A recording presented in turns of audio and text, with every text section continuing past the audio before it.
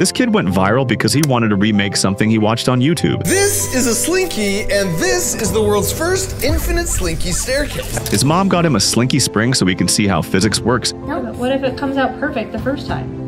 Then we try it again. He was so excited to try it out that he didn't even wait, dropping it down step by step just to see how it would move.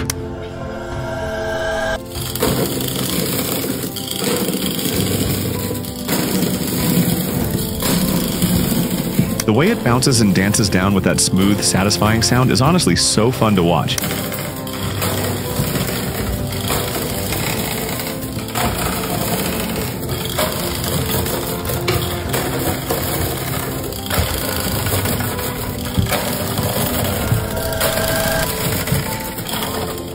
Oh, got 17. If you want to help this kid go viral, then drop a like.